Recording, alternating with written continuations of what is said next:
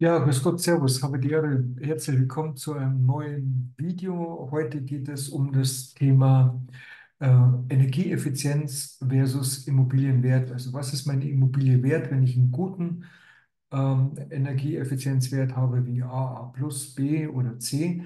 Oder was ist, passiert denn tatsächlich mit meiner Immobilie, wenn ich einen schlechten Energieeffizienzwert habe von G wie Gustav oder H? Äh, Und äh, die Frage, die sich ja stellt, ist, was muss ich denn tun? Also wenn ich meine Immobilie verkaufen möchte, macht es dann Sinn, ähm, ja, energieeffizient hier nochmal zu sanieren? Also ich stecke da 40.000 Euro rein in mein Haus. Ähm, was kommt denn hinterher bei rum und macht das überhaupt Sinn? Und die erste Frage, ja, da wäre ich vorsichtig, weil Sie wissen ja nicht, Sie, Sie, Sie planen und Sie setzen um und Sie wissen gar nicht, ob es dem Käufer gefällt. Trotzdem stellt sich natürlich auch die Frage für Wohnungskäufer. Du hast eine Immobilie, die hat eine Energieeffizienz von E wie Emil und äh, du stellst dir die Frage, was kommt denn künftig Kosten auf mich zu, wenn wir sanieren oder wenn wir sanieren müssen? Und jetzt ist es so, dass wir als Regionalverband, äh, als, als Regionaldirektion des Bundesverbandes des BVGEM, also für den Bundesverband der Gebäudemodernisierer, schon genau wissen, äh, was da auf sie zukommt und es auch sehr, sehr gut rechnen können. Aber das sind ja immer Einzelfälle und ähm, das heißt, dass, äh, da wird sehr viel zu Fuß besorgt. Also man geht hin und schaut sich die Immobilien an und ähm, das ist schon mit Aufwand verbunden. Jetzt gibt es aber dank KI tatsächlich schon Möglichkeiten, das sehr, sehr präzise und da ähm, sind wir schon überrascht, wie präzise das äh, funktioniert mit den Werten, ähm, weil wir bisher immer dachten, ja, es muss zu Fuß gehen, aber nein, also es gibt mittlerweile Möglichkeiten. Man hat in Deutschland 12 Millionen, 12 Millionen Immobilien ähm, gecheckt und äh, analysiert und man kennt die, die Werte, man kennt die Energieeffizienzklassen und man kann auch sagen, wie viel muss ich investieren, äh, um beispielsweise von, von einem E, und das steht im Energieausweis, da können Sie es immer nachlesen, wo Ihre Immobilie steht, von E auf, auf B zu bringen. Also wie viel muss man einsetzen? Und das Entscheidende ist aber hinterher, ja, wie viel habe ich jetzt eingesetzt und was passiert mit dem Immobilienwert? Verpufft es einfach nur oder ähm, ja, bringt es auch was? Und diese Fragen möchte ich gerne beantworten und ich möchte aber vorausschicken, wir können das mittlerweile äh, für, für jede Immobilie äh, Ihnen zur Verfügung stellen, mit Ausnahme von äh, Mehrfamilienhäusern. Das ist ein bisschen äh, tricky und ein bisschen aufwendiger, aber was wir auf jeden Fall beantworten können, ist auch, spielt keine Rolle, ob es eine Wohnung ist, äh, die wir, die wir da äh, erfassen können, oder ob es ein Einfamilienhaus ist, ein Zweifamilienhaus äh, oder was auch immer. Zu diesem Zweck würde ich jetzt meinen Bildschirm mal teilen, um Ihnen zu zeigen, was ich hier für Sie vorbereitet habe. Und zwar sehen Sie jetzt eine sogenannte Szenariorechnung. Die ist äh, echt, wie auch die nächste Folie. Es sind echte Immobilien, die wir im Verkauf haben. An der möchte ich Ihnen einfach mal zeigen, was so eine KI mittlerweile greifen kann. Und zwar geht es hier um die, ja, um die Energieeffizienz. Wir sehen einmal hier eine Tabelle hier oben mit äh, Zustand, ups, Verzeihung, mit Zustand und Ausstattung. Das heißt also, wenn wir die Immobilie in einem sehr schlechten, schlechten, mäßigen oder sehr guten Zustand haben, das können wir einmal klassifizieren. Und welche, welche Ausstattung haben wir denn bei dieser Immobilie? Hier, ähm, die unsere, die wir im Verkauf haben, hat eine, äh, einen sehr guten, also einen guten Zustand äh, mit einer mittleren Ausstattung. Hier sagt diese KI, dafür gibt es einen, einen Durchschnittspreis von 7.812 Euro. Der kann jetzt stimmen, der muss nicht stimmen. Den äh, gucken wir uns sowieso immer noch mal äh, Sachverständiger als Gutachter an, weil man mit Durchschnittspreisen nicht, nicht wirklich weit kommt. Aber es ist schon mal ein Anhaltspunkt.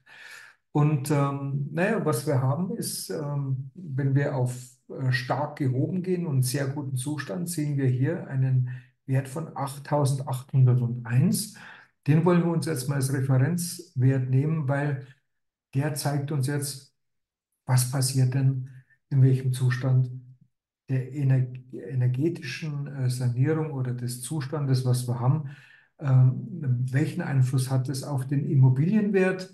Wenn du A plus bist, äh, das sind die Neubauten, bist du bei 8801 und das ist top. Je schlechter dein Energieausweis sich darstellt, also von A bis B bis C, ähm, die wird ja gar nicht erfasst, äh, weil das für dieses Baujahr ähm, nicht möglich ist. Das ist ähm, ein, ein relativ neues Gebäude, was wir hier äh, im, im Verkauf haben. Also da ist es ausgeschlossen, dass das D, E oder F ist, einfach baujahrbedingt. Aber wir sehen, also wenn du hier C hast, beispielsweise, sind es nicht mehr 8.801 als, als Durchschnittspreis, sondern 7.900 92. Und das ist ein Unterschied von 809 Euro auf einen Quadratmeter. Also da kommt ja schon ganz hübsch was raus. De facto bitte nochmal, Durchschnittspreise sind Durchschnittspreise und man muss jede Immobilie immer individuell anschauen und das mache ich als Gutachter natürlich auch. Das, um was es hier geht, ist eine Szenariorechnung in welchem Zustand, in welchem energetischen Zustand ist deine Immobilie und was hat das für Auswirkungen auf den Wert. Also wir sehen einmal, je schlechter der Energieausweis, desto schlechter auch der Immobilienwert. Jetzt gucken wir uns die andere Folie an, die ich für Sie äh, vorbereitet habe. Hier steht auch ganz unten in der Fußzeile, dass es ähm, insgesamt eben mehr als 12 Millionen Immobilien sind. Ähm, die hier als zuverlässige Quelle dienen. Aber schauen wir es uns mal genauer an. Und da haben wir uns vom Bundesverband schon gesagt, Sapralot, ähm, das ist äh, echt ein erstaunlich äh, präzises Ergebnis, wobei es natürlich immer mal einen Ausreißer nach oben oder unten gibt. Aber wir können uns jede Immobilie individuell anschauen. Schauen wir uns das miteinander an. Wenn Sie eine Immobilie haben, und das ist jetzt wiederum eine Immobilie, die wir im Verkauf haben, eine Wohnung, die wir im Verkauf haben, die hat die Energieeffizienzklasse E, E wie Emil. Und Sie sagen jetzt, ich möchte die äh, von E auf B bringen. Das können Sie natürlich nicht alleine sagen als Wohnungseigentümer, sondern das muss die Gemeinschaft ja irgendwann mal äh, beschließen. Aber wir können natürlich schon sagen, wenn du von E auf B äh, kommen willst, ist aufgrund der Energieeffizienzklasse E der Immobilie in diesem Zustand, den wir vorher natürlich schon definiert haben. Also wir wissen, E ist Zustand E. Um auf B zu kommen, musst du dieses, das und jenes tun. Das bedeutet anteilmäßig für dich wieder als ähm, Wohnungseigentümer einen Kostenblock von 38.220 Euro. Und ähm, die äh, sind sehr, sehr präzise. Ähm, die Stand heute, Datum heute, auf dich zukommen würden, wenn ihr beschließen würdet, das Haus äh, Eigentümergemeinschaft von E auf B gehen zu wollen. Jetzt neigen Immobilienkäufer häufig dazu, zu sagen, haha, vielen Dank für den Wert, den ziehe ich mal vom Kaufpreis ab. Das ist nicht zielführend, ähm, weil unsere Verkäufer auf der einen Seite sagen, ja, ja, kannst, kannst du versuchen, machen wir aber nicht mit. Weil de facto ist es so, wir haben ja auch eingepreist für E und nicht für B. Also wir preisen die Wohnung schon richtig ein, weil wir, ähm, wie soll ich sagen, Wunschpreise, der eine oder andere Immobilieneigentümer, der das Video jetzt sieht, der bei uns in der Datenbank ist und auch immer wieder mal unsere Videos anschaut, weiß es, dass ich nicht jeden Auftrag annehme. Immer dann, wenn es Wunschpreise äh, sind seitens der Verkäufer, ähm, nehme ich es nicht an, weil ich kein Wunschpreiserfüller bin. Ich bin Gutachter, Immobilien-Sachverständiger, kann einen Marktpreis äh, definieren, den können wir miteinander besprechen. Aber Wunsch- oder Mondpreise bringen wir nicht auf den Weg. Also wir stufen auf, wir bewerten auf die Energieeffizienzklasse E und Sie brauchen 38.000 Euro, um auf B zu kommen. Faktisch ist aber, wenn Sie auf B sind, erhöht es auch den Immobilienwert.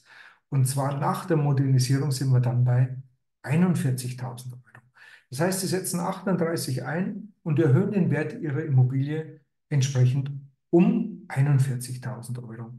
Das können wir jetzt runterrechnen, wenn Sie als äh, WG, wenn Sie sagen, ja, wir wollen von E auf C, weil uns das reicht, wird Sie das circa 28.000, 29.000 Euro kosten, erhöhen aber den Wert Ihrer Immobilie nach aktuellen Marktgegebenheiten auf 33.000 Euro. Und so gibt es auch das Beispiel von E auf D.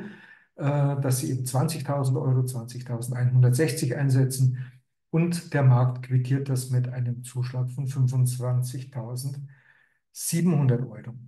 Wichtig, ich kann Ihnen das für Ihre Immobilie, für Ihre Wohnung, für Ihr Häuschen, ich kann Ihnen diese Berechnungen machen. Das Einzige, was ich dazu brauche, ist natürlich ein paar Daten zu Ihrer Immobilie. Äh, und dann können wir diese Berechnung durchführen, dass wenn Sie zum Beispiel für Ihr, Ihr Reihen-Eckhaus, wenn Sie beschließen, Sie wollen hier 50, 60, 80.000 Euro oder 100.000 Euro einsetzen und wollen wissen, was passiert denn hinterher mit dem Immobilienwert, ist es verbranntes Geld oder passiert was Positives mit dem Immobilienwert, dann können wir uns das sehr, sehr gerne anschauen. Dafür äh, gibt es dieses Video als Angebot. Ich brauche eine E-Mail von Ihnen, dass Sie sagen, ja, das interessiert mich, dann freue ich mich und dann würden wir das machen. Also Sie sehen, es gibt mittlerweile hervorragende Instrumente, um auch zu sehen, was passiert, wenn ich energetisch saniere, was passiert mit dem Immobilienwert und wo geht die Reise hin. In diesem Sinne bedanke ich mich fürs Zuschauen. Bis zum nächsten Mal.